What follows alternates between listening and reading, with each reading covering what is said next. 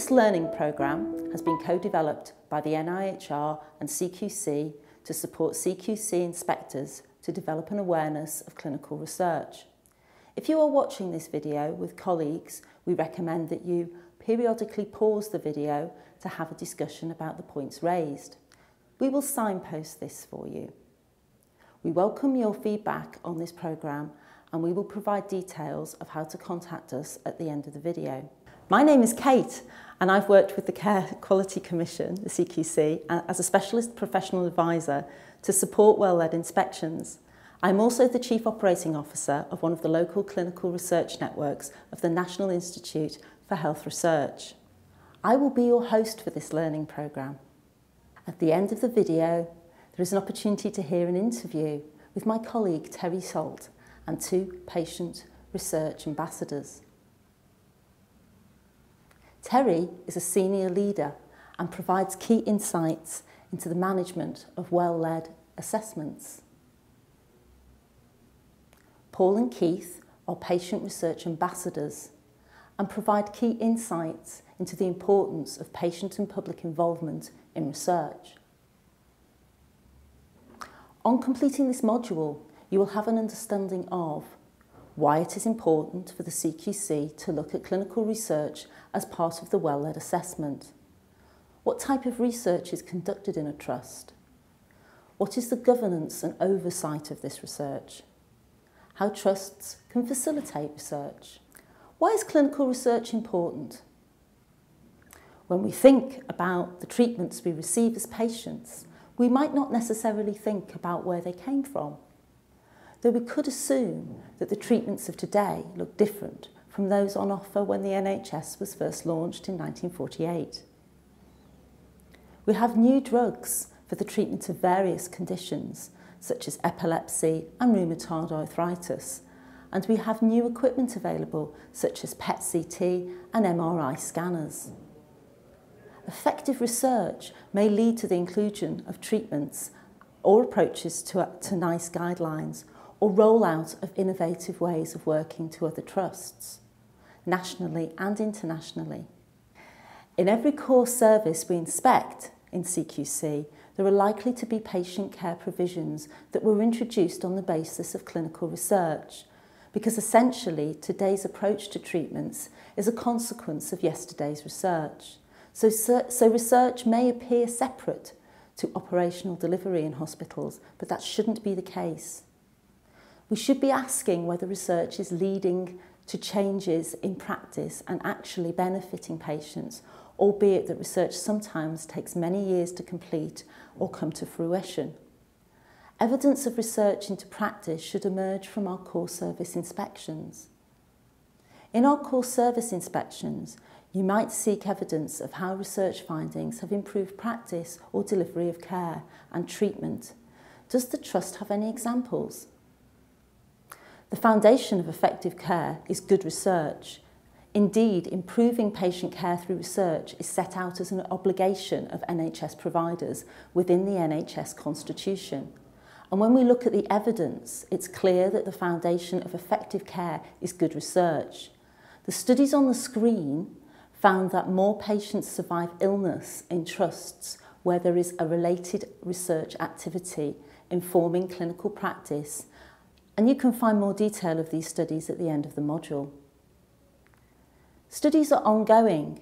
In fact, a new study, which should be published shortly, also by Kerr, shows that patients admitted to more research active hospitals have more confidence in staff and are better informed about their condition and medication.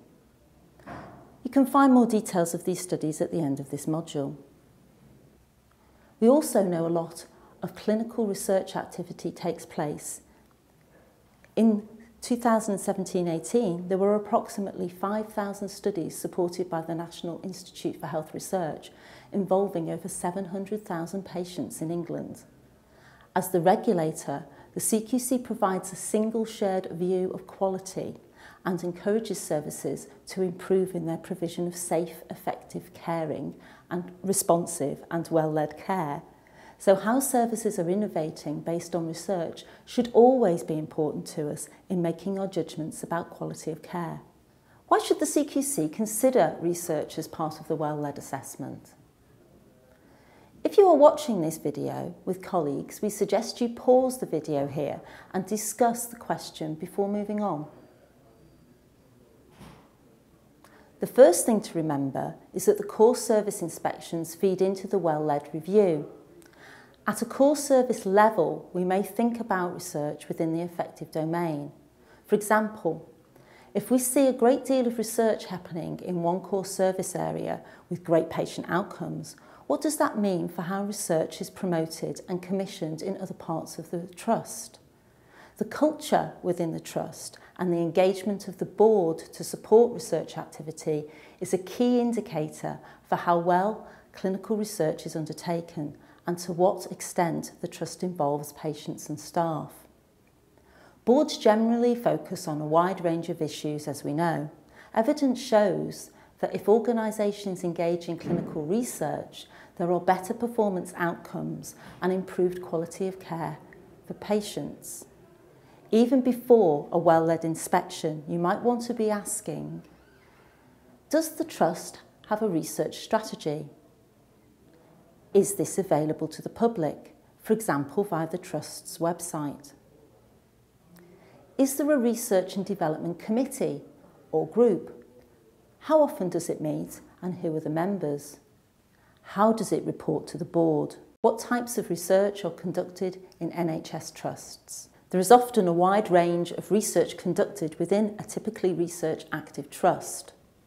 The role of a trust in any research study will range from the trust being the lead, sometimes sole site, where the chief investigator and overall lead for the study is located, to being a participating site, where the trust is joining a multi-site research study, which could be regional, national or international. For multi-site studies, there will be a principal investigator for the study based at each site. The chief investigator will most often be based elsewhere. Research can cover any aspect of NHS care, diagnosis, treatment, organisation and delivery and can cross clinical specialties. It may be about medicines, medical devices, surgical intervention or how health services themselves are conducted. There are also different designs and approaches to research. Clinical trials are often called interventional.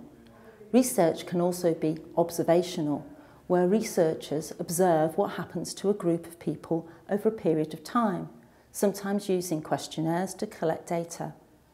No one approach is better or worse than another. It depends on what the study is attempting to find out. Different research studies can be funded in very different ways. Commercial studies, for example, are those that are sponsored by a private company which is typically developing a new medicine or medical device. The NIHR supports many of these studies provided they are associated with clear potential patient benefit and have been ethically approved. Other studies may be publicly funded through the NIHR funding streams or there may be charity funding. Sometimes there are a combination of all of these funding sources. This variety of research is important to generating the best evidence for the widest possible patient benefit. You can gain a better understanding of different trial designs from the inspection process or by speaking with colleagues at the NIHR. What is the governance and oversight of clinical research? It is important to understand that research studies in the UK are regulated within the UK policy framework for health and social care research, which sets out principles of good practice in the management and conduct of health and social care research in the UK. All research studies carried out in the NHS are regulated by the Health Research Authority, an arm's length body whose core purpose is to protect and promote the interests of patients and the public in health and social care research. Research studies that test new medicines or devices not already available to the NHS also have to be approved by the Medicines and Healthcare Products Regulatory Authority before they can go ahead The MHRA regulates medicines, medical devices and blood components for transfusion in the UK. The health benefits from clinical research are in part dependent on its delivery at volume and at pace. Within any NHS organisation, the ability to deliver clinical research effectively is related to its integration into the strategic vision and operational processes of the institution. While the R&D function within any organisation has an important role in successfully delivering clinical research, whole organisation commitment, including corporate and support departments, is required for the optimal delivery of safe and effective clinical research. There should be in place a means to identify and escalate to the board risks and barriers to clinical research delivery through performance reports, risk registers, clinical quality reports and other surveillance systems. It is estimated that nationally 80% of all NHS studies are supported by the NIHR Clinical Research Network, CRN. Through its 15 local networks, the CRN meets the costs of NHS staff that support research and provides specialist training so that patients can be confident that research is being delivered by trained, experienced frontline NHS staff. It also meets the costs of using NHS facilities, such as scanners and x-rays, that are needed in the course of a study, so that research is not subsidised with funding that has been provided for patient care.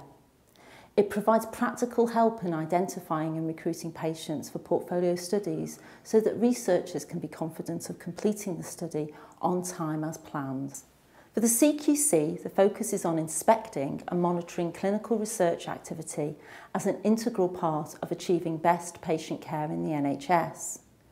For the well-led assessments, a trust's research strategy should be the starting point and needs to fit in with the overall trust objectives and quality priorities. There should be a clear committee structure for information about research to travel up to the board and back again. We should be asking Is there good oversight of the research initiatives underway? Are the risks reviewed and mitigated? Where is the oversight of commercial research projects and particular risks connected to these? If the trust is working in partnership with others, how do they monitor the risk? How does the board maintain oversight of research in the trust? Is there a board member with explicit responsibility for research? How can trusts facilitate research? It is important to recognise that a research active NHS trust is one which delivers clinical research irrespective of whether it is led by itself or another organisation. The extent to which research delivery is a whole organisation endeavour is a marker of excellence. Almost every aspect of inspection described in the well-led framework can be considered to have a research sector component.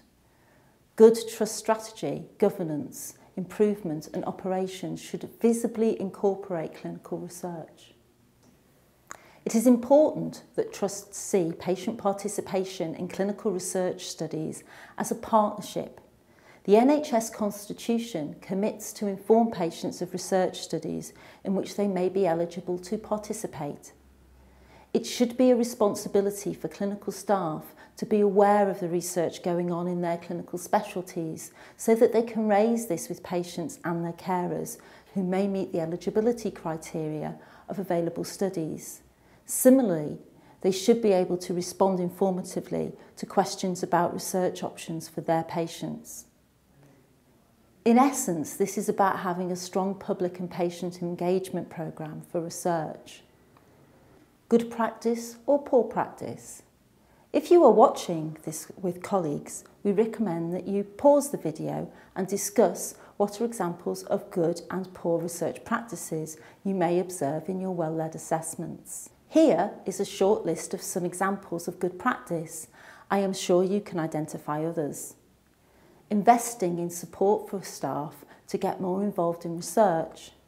Actively engaging public and patients in research providing small research grants for ward and team staff, having a good finance model for research that is ring-fenced, encouraging a wide range of different health professions to be research active. I asked one of my colleagues to describe what poor practice might look like.